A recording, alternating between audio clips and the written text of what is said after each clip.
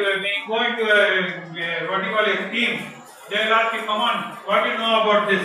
You're, in a, you should be in a position to tell, okay, I know this, I know this platform, I know that.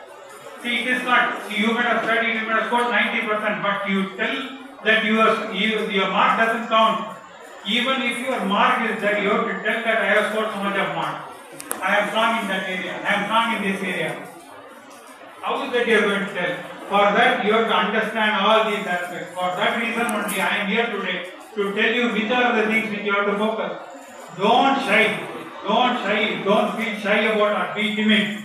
That will not take you. Today, from today, March 1st, 2016, you all people are different. You are going to you are going to move, move into a new arena of your life and talk about your personality.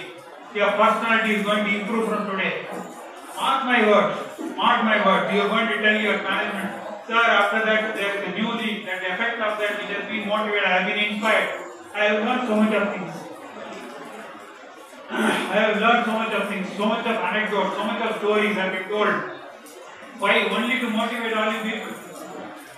And not, not that you you don't anything. You are all engineers. You are more qualified. You are more qualified. You are technically qualified. But only technically qual- technical qualification will not catapult